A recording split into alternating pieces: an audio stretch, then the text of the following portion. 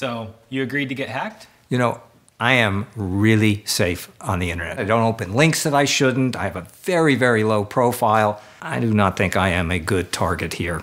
This is Jeffrey Katzenberg, co founder and former CEO of DreamWorks and billionaire investor. What's happening today? I'm hacking Jeffrey Katzenberg. It's gonna be fun. This is Rachel Tobac, and she can hack just about anything. As an ethical hacker, she's hacked news reporters, Fortune 500 companies, and everything in between. Jeffrey might think he's pretty safe. Most people do. But the truth is that nobody is unhackable, and it can be surprisingly easy to get in. Want to see how it's done? I'm in charge of the human hacking, and Evan is behind the technical elements of the exploit and hack. We're gonna build our pretext using information from data breaches and data brokerage sites. The first step for an attacker is to figure out who you are going to pretend to be and how you're gonna contact them. This hack, I think it makes sense to be Jeffrey's right-hand man, Anthony Saleh. Anthony recently had a Wall Street Journal article about him and Jeffrey's working relationship, and we can find more details about how to pretend to be in this hack from Jeffrey's work website. So this specific attack works because Jeffrey's computer is out of date. A security researcher has found a vulnerability in Jeffrey's software, and now that's publicly known. The vendor has since fixed this problem, but since Jeffrey hasn't updated, the patches aren't protecting him yet. Now it's time to send Jeffrey our message with the malicious link.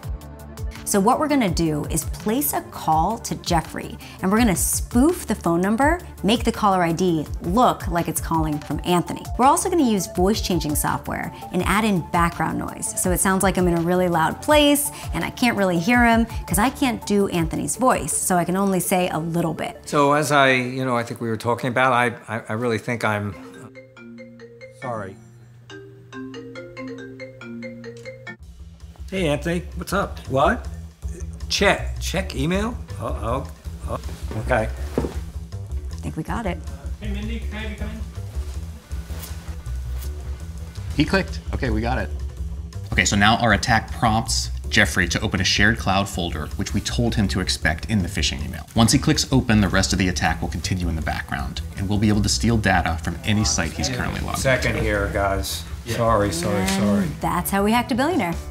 It was at this point that we thought it might be nice to tell Jeffrey exactly what had happened. Oh boy. Rachel, Jeffrey. Evan, you people are bad people. Guess I was just a bit too confident. Is it okay if I come in? Come on I'm in. coming in. Come on, I already hacked you. It's worse than not you happy. realize. No, it can't be any worse than I It think. is. Come on. Let me show you. Yeah. I can't You? wait to hear the good news here.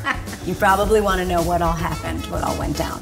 yeah, I'd say. You remember that email from Anthony? Yeah. That was me. How is it you if it's from Anthony?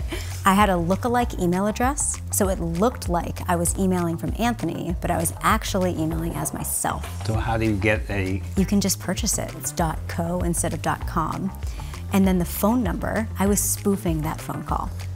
So I know, made- but it was Anthony's voice. I used a voice changer.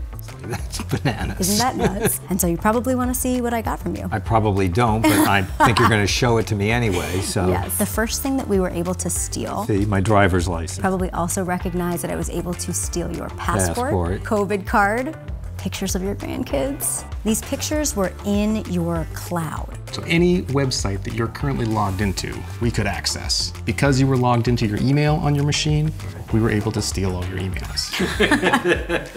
because you clicked the malicious link and your computer was out of date. So you know how that little thing will come in on the side and it'll say, update your computer Yeah. now? And you're like, no, thank you, I would rather do anything else. And enough of those weeks built up and we had a known vulnerability with your computer out of date that we were able to leverage against you. You are really malicious.